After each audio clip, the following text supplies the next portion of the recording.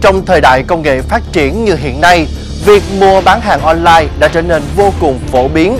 Càng ngày mọi người càng ưa thích việc này bởi tính tiện lợi và tiết kiệm thời gian. Tuy nhiên, đi đôi với sự tiện lợi đó là những nguy cơ tiềm ẩn về những cạm bẫy đằng sau những shop bán hàng online. Mặc dù ban biên tập truyền cảnh giác đã rất nhiều lần cảnh báo với quý vị về những tình huống lừa đảo thông qua việc mua bán hàng online, nhưng số vụ án gửi về chương trình vẫn rất nhiều. Vậy nên hôm nay, ban biên tập tiếp tục gửi đến quý vị một tình huống điển hình về vấn nạn này. Quý vị và các bạn cùng theo dõi với Trí Thuận để rút ra những kinh nghiệm cho mình quý vị nhé.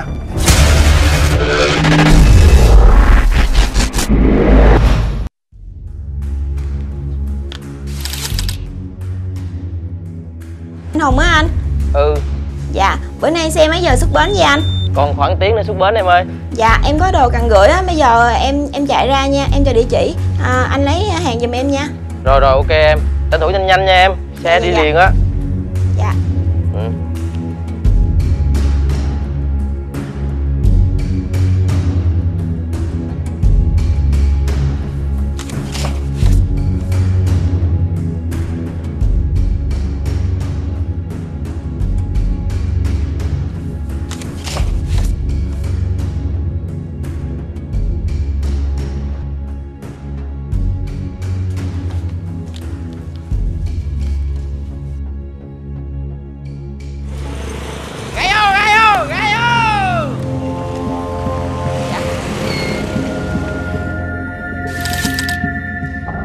Tôi làm lơ xe ở nhà xe này đã gần 5 năm nay rồi.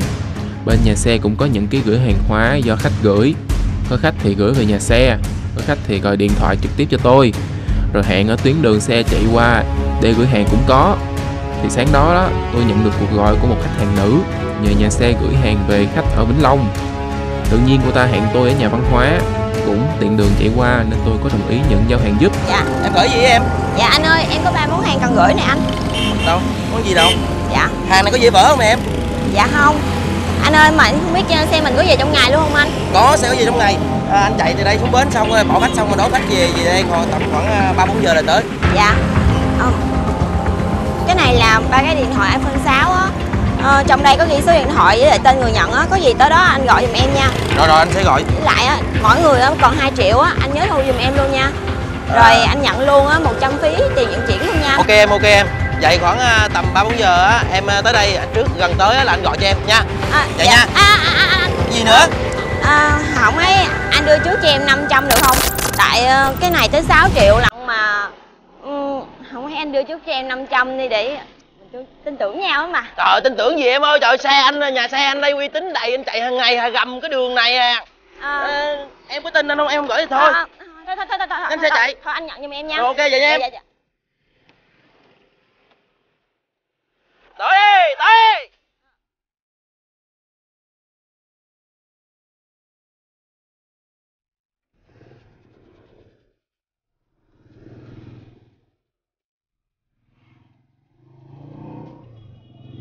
trả khách xuống bến sông, phân phát hàng hóa cho các khách tới bến xe.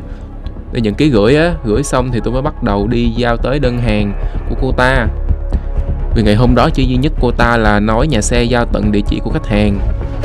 Tôi gọi điện thoại trước khi giao hàng và đầu dây bên kia thì là một người khách nữ. Nghe máy và hẹn tôi giao hàng ở siêu thị.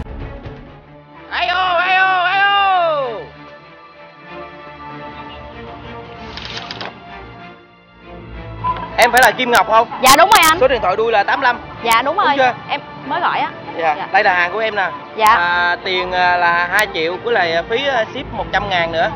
Dạ rồi là đây. 21. Dạ tiền đây ạ. Em gọi hàng coi thử luôn nha anh.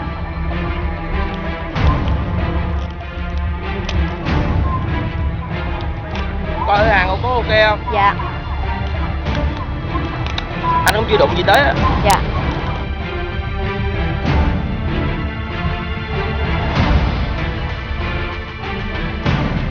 Bất ngờ và hoảng hốt khi người khách nữ đó mở cửa hàng ra và không phải điện thoại như cô ấy nói, mà là một miếng gỗ nhẹ tên.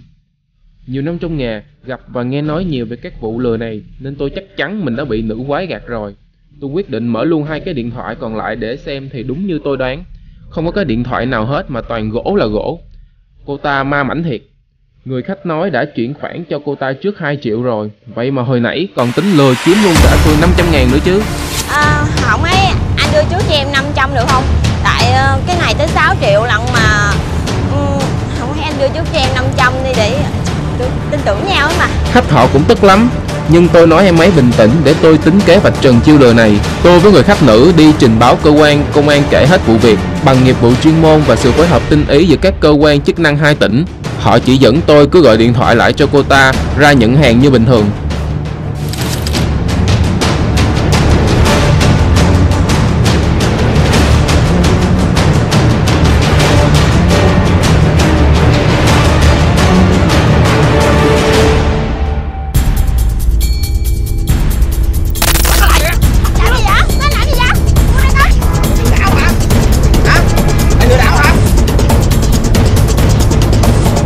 Vậy là cuối cùng Thủy cũng cúi đầu nhận tội và khai nhận toàn bộ hành vi của mình.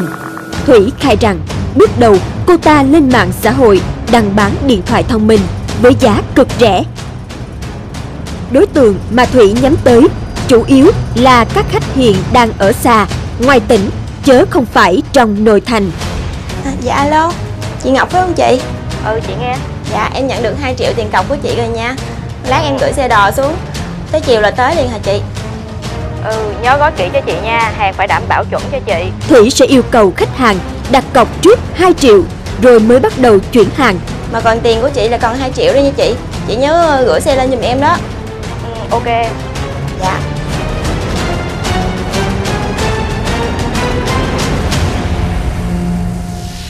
Alo? Dạ alo anh ơi anh đang định mua cái điện thoại em vừa mới đăng phải không anh ừ mình còn cái à, màu đó không em? Dạ còn anh. Ủa mà cho em hỏi anh ở đâu vậy anh? Anh ở ngay chỗ à, thành phố vĩnh long. Ờ vĩnh long xa quá. Ờ vậy có anh chỉ khoản cho em trước 2 triệu nha rồi em gửi hàng cho anh. Dạ em nhận được ờ, tiền chuyển khoản của anh thì em sẽ gửi liền trong ngày luôn anh. Ờ vậy hả? Dạ.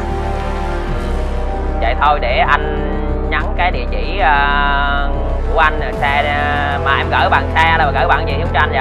Dạ em gửi xe đò đó anh. Anh nhắn địa chỉ cho em đi rồi em gửi xuống liền cho anh luôn. À để anh nhắn địa địa chỉ anh chat của anh kênh nhắn địa chỉ nha. Rồi Dạ. ờ, anh chuyển tiền cho em. Dạ. Nhớ hàng giống như em gửi hình nha gửi hàng ba- avatar là anh xuống anh trả lại á nha. Dạ em biết rồi yên tâm đi. Rồi chị thấy à rồi ok em. Dạ bye bye anh. Ngày hôm đó, Thủy đã lừa được ba người khách đồng ý mua hàng và chuyển cọc cho cô ta.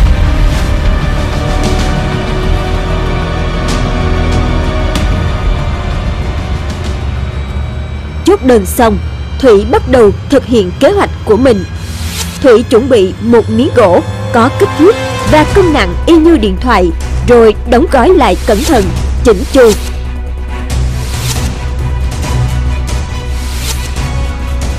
ghi chú tên khách, số điện thoại, địa chỉ rõ ràng. Tiếp theo đó, Thủy liên lạc với nhà xe nhờ vận chuyển giúp. Quả là tình vì, phải không quý vị? Câu chuyện vừa rồi chỉ là một màn kịch vụng về của một nữ lừa đảo trẻ tuổi khi định lừa tiền của nhà xe và khách mua hàng nhưng bất thành. Tuy nhiên, quý vị và các bạn không nên chủ quan, chỉ một chút bất cẩn, chẳng hạn như nếu người phụ xe đồng ý ứng tiền trước cho nữ quái kia trước khi giao hàng cho khách, hay vị khách hàng không cẩn thận kiểm tra bên trong gói hàng trước khi thanh toán thì có lẽ đã mất tiền oan uổng. Qua đây, ban biên tập muốn một lần nữa gửi tới quý vị những lời cảnh báo về việc phải thực sự cảnh giác khi mua bán và thực hiện các giao dịch trực tuyến để hạn chế những trường hợp đáng tiếc xảy ra. Quý vị hãy tìm đến những cửa hàng có uy tín, đừng ham đồ rẻ mà dính bẫy của bọn lừa đảo.